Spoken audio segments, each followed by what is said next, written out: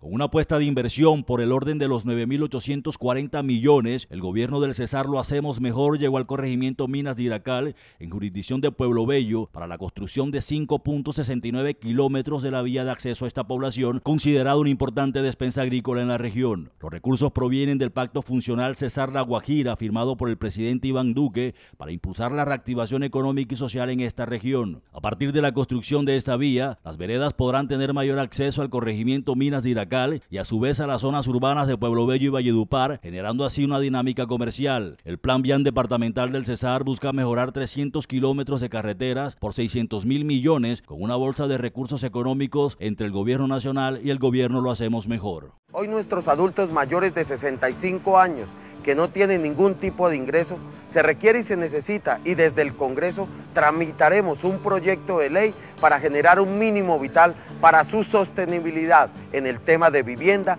y alimentación. Desde allí seguiremos luchando para proteger así nuestros adultos mayores.